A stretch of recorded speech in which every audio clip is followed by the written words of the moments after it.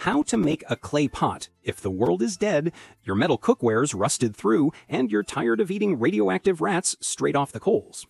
Cities are quiet now. The rain hisses acid, the rivers are sludge, and your last plastic bowl just melted into modern art. You need something to cook with, or bury your secrets in.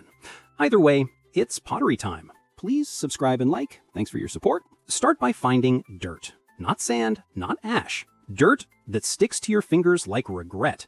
That's clay, nature's way of saying, I can still hold things. Mix it with just enough water to make it pliable, not soggy.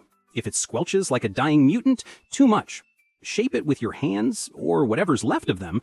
Doesn't need to be pretty, nothing is anymore. Smooth the edges with an old rag or your shirt if you've stopped caring. Let it dry in the sun or near the fire. If it cracks, congratulations, you've made art. Now for the fun part, firing. Build a pit, throw in charcoal or whatever burns, place your pot in there, and pray.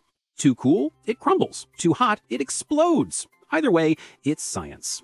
The clay hardens as the water escapes. The molecules form a lattice tougher than your will to live. When it cools, you've got yourself a pot. For cooking, for collecting rain, for, well, whatever's left. If it holds, congrats. You've outsmarted extinction with mud and bad decisions.